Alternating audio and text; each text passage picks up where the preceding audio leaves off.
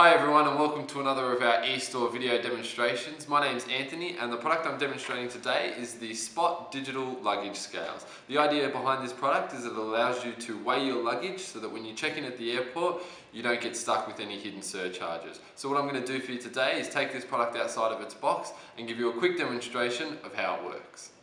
Okay, so this is the unit outside of the box. So the first thing you'll notice on the top of the unit here is that you've got a switch for your on off and then you've just got a circular toggle button here. So once I turn the unit on, all I have to do is press this circular button and the blue LCD display will come up uh, giving you two zeros which means the unit's ready to go.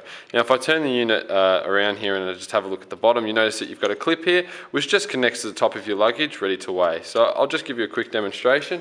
Just connect this to the bottom of the luggage here, make sure it clicks and all you have to do is turn your unit on, wait for it.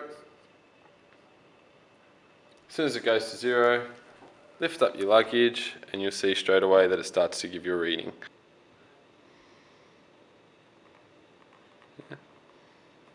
This unit will give you measurements in kilograms and pounds and it's also got a small lightweight design which makes it easy enough to carry with you in your luggage while you're travelling. And it's great for those of you who are planning to travel during the holiday season.